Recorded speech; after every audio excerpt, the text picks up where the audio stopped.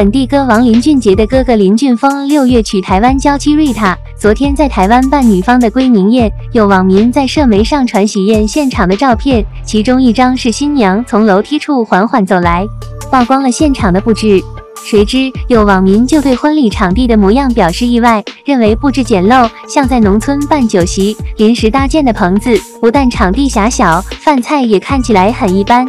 据悉，林俊杰昨天也盛装出席，低调坐在观众席，和台上的哥哥暖心合唱，将故事写成我们。据网民透露，现场音响设备也非常简陋，但兄弟俩歌声动人，场面温馨。